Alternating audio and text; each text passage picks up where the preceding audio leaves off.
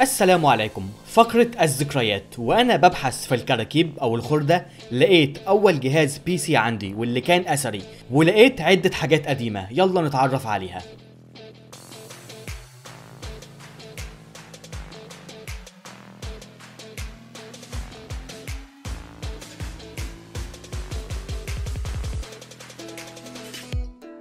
في البداية بطلب منكم إنكم تفعلوا جرس التنبيهات وتعملوا اشتراك في القناة. من حوالي 20 سنة أقدم لكم الجهاز الأثري بتاعي واللي أعتقد إنه كان أول جهاز أمتلكه. في الوقت ده ما كنتش مهتم من الناشر أو من المطور أو اللعبة بمحرك إيه وشغالة بكام frame. كنت بلعب على ال PC حاجات قديمة جدا زي الون ان ذا دارك ودوم وسيف وهاف لايف وكوماندوس وتوم ريدر وبليد اوف داركنس ورون والعاب كتير قديمة زي Legacy of Kain Medal of Honor وأول جزء من GTA وكنت بلعب على الشاشة دي كان اسمها العصفورة أو البطيخة. أظن كانت تقريبا 10 أو 12 بوصة معرفش إزاي لحد دلوقتي محتفظ بيها. جايز علشان هي اللي أسستني. أنا كان عندي hard 4 جيجا. جايز محدش يصدق الحاجات دي لكن فعلا كان 4 جيجا. وكان عندي أخوه 6 جيجا. دي أيام البساطة فعلا. دلوقتي أي فيلم 3D هياخد مساحة ال hard كلها. وبعدها جبت ال hard 40 جيجا وكنت في غاية السعادة بس أظن إنه باظ ورميته. وبعدها جبت ال 80 طبعا في وقتها ما كانش فيه hard أزرق أو أخضر أو أحمر والبنفسجي والألوان العجيبة دي اللي اتعملت لحلب الفلوس. كانت أيام فعلا.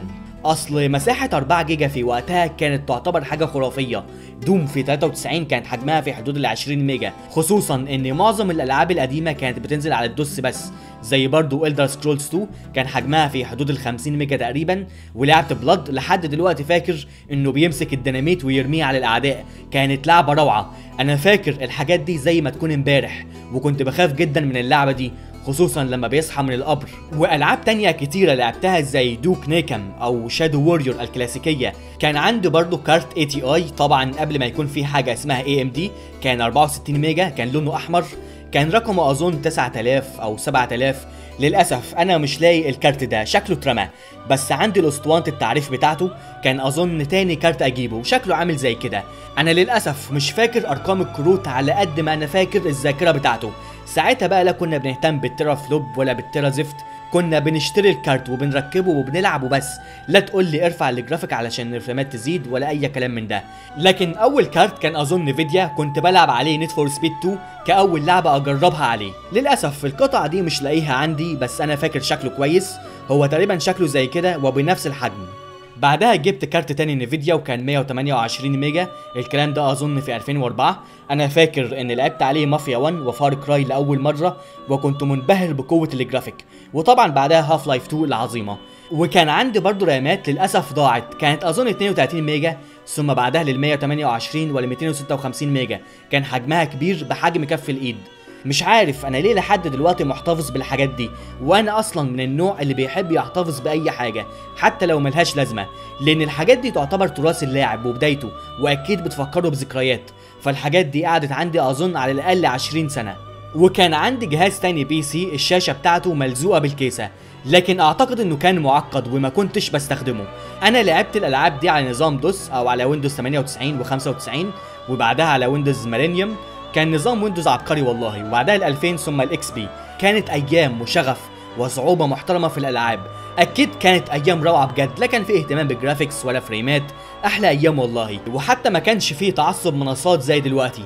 يعني أنا أيامها كان عندي PlayStation 1 و Nintendo 64 وما كنتش بلاقي حد متعصب يقول لي الجهاز ده أحلى لأن عليه ماريو 64 أو لأن ال PS 1 عليه Crash. فأيام زمان الواحد كان بيلعب للمتعة والترفيه. إنما دلوقتي الواحد بيلعب للاستمتاع بالرسوم أو علشان يفتخر بجهازه إنه بيشغل 4K ب 120 frame.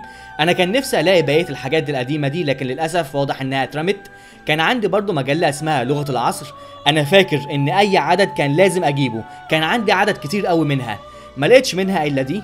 وكان بيجي معاها برضو ألعاب لكن نسخ demo. وأنا فاكر ان في مجلة اسمها مجلة ألعاب الكمبيوتر. المجلة دي بتتكلم عن أي لعبة جديدة كانت عاملة بالظبط زي مواقع التواصل. بتتكلم عن اللعبة وأسلوبها والأجهزة الجديدة.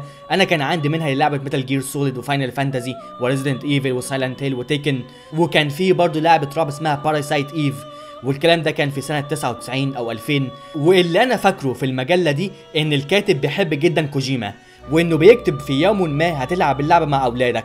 والكلمة دي أكيد مؤثرة وبتأشعر البدن. دي شوية صور جايبها من النت علشان الناس تعرف طبيعة المجلة. لكن طبعا مع وجود الإنترنت وبعدها المنتديات فده قضى على المجلة دي. والله كانت أيام حلوة جدا وأتمنى إنها ترجع. وأنا بشكر العاملين على المجلة دي وأقول لهم أنتوا أثرتوا بشكل كبير على توسع الصناعة في الوطن العربي. المجلة دي ببساطة كانت اليوتيوب كانت بتعمل تغطية لمؤتمرات اي 3 وبتتكلم عن كل الألعاب. الحاجات دي صنعت تاريخ وصنعت جيل لاعبين محترم. ده اللي أنا أحب أسميه العصر الذهبي لصناعة الألعاب. فالألعاب في وقتها كانت ثورة فعلا. أنا فاكر أجهزة صخر وذكرياتي مع باكمان وبومرمان وجريدياس بالرغم إن الحاجات دي تعتبر قديمة جدا لكن كانت بتتباع في مصر وكأنها جديدة. لأنها طبعا ما كانتش معروفة وتقريبا لحد دلوقتي بتتباع. وبرضو أجهزة الأتاري ولعبة صيد الطيور بالمسدس ولعبت عليهم وأنا كان عندي حوالي خمس سنين والكلام ده اظن كان في 97 وكان عندي في وقتها Nintendo العائلة وال PS 1 و Nintendo 64 وبعدها ال PS 2 وأعز جهاز على قلبي هو ال Dreamcast الجهاز ده كان أسطوري. لكن من بعد الجيل السادس والأجهزة ما بقتش ثورية زي زمان. فأنا فاكر الحاجات دي بالرغم إن كنت ساعتها صغير في السن. لكن الحمد لله ذاكرتي كويسة جدا في الحاجات دي. أنا اللي مضايقني إن الحاجات دي للأسف واضح إنها اترمت. ممكن أهلي اتبرعوا بيها للروبابيكيا أنا معرفش إزاي إحنا كنا بنلعب الحاجات دي وبننبهر بيها وبنقول عليها إنها واقعية. أيام البراءة والغلب. لكن عموما نرجع للجهاز الأثري. أكيد الجهاز ده باين إنه خردة وأنا أصلا كنت ناسي الحاجات دي لكن اللي فكرني بيها إن كنت بقلب في حاجات القديمة وفجأة لقيت لعبة Commandos واللعبة دي أصلا بحبها جدا كان ليها ذكريات ممتازة معايا. وجنب اللعبة دي لقيت الحاجات الأثرية زي ال hard والشاشة. واتذكرت إن Commandos نزل لها remaster من حوالي شهرين فحبيت إني أجرب اللعبة من تاني وأسترجع الذكريات. أنا بحب جدا لعبة Commandos فيها تفكير ودماغ. خصوصا إن زمان ما كانش فيه يوتيوب يحللك الصعوبات. يعني أنا أتذكر إن لعبة Commandos كانت صعبة جدا ومراحلها متصممة بطريقة معقدة وبصراحة لحد دلوقتي هي صعبة. وإنك لازم تدرس كل تحركاتك وتحركات الأعداء علشان محدش يكشفك.